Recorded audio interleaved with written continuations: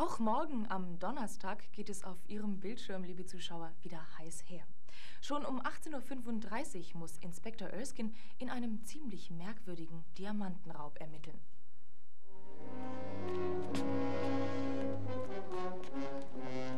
Mr. Grant, was um alles in der Welt soll das bedeuten? Das ist ein Raubüberfall, Mr. Toller.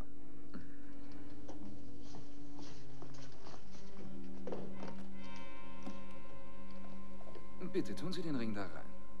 Also, das verstehe ich nun wirklich nicht. Der Ring ist Ihr Eigentum. Sie haben mir die Diamanten doch selbst gebracht, damit ich sie bearbeite. Es rufen ständig falsche Erpresser bei uns an. Die Presseveröffentlichung macht uns Schwierigkeiten. Ja, er sagte, er sei Grant. Aber das haben verschiedene andere auch behauptet. Er sagte, er wäre wütend darüber, dass ich die Zeitungen informiert habe. Aber er würde mir nach wie vor die Steine zurückschicken, wenn ich bezahlen würde.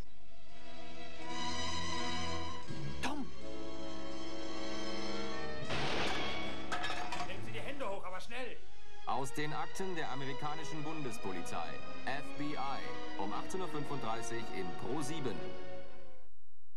Wehende Mäntel, galoppierende Pferde, fliegende Degen und eine schöne Frau.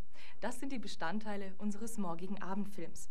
Er erzählt das Schicksal eineiiger Zwillinge und ihrer Vendetta im Korsika des 19. Jahrhunderts.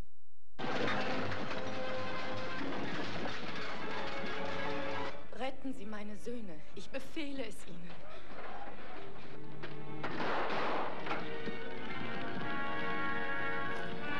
Ich habe ihre Körper voneinander getrennt, aber... Was ist mit ihren Seelen?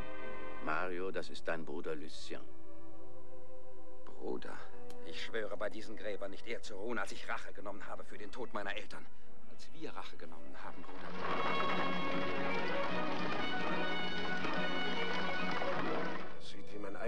Aus. Das wäre er auch gewesen, wenn du nicht geahnt hättest, dass irgend so etwas passiert. Bring euch einen Gast. Gräfin Isabel Gravini. Gravini? Isabel Gravini? Douglas Fairbanks in Blutrache, um 19.30 Uhr in Pro 7.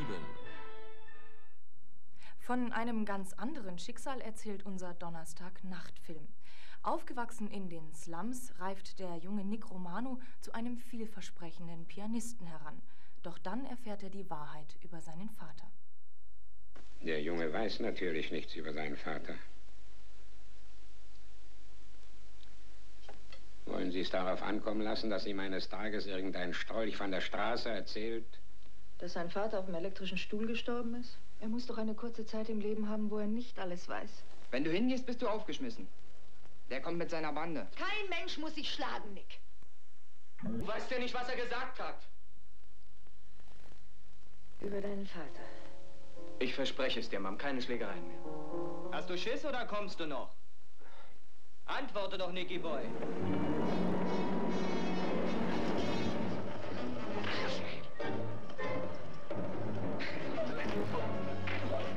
Von der Vergangenheit eingeholt. Die Saat bricht auf. 22.25 Uhr in Pro 7.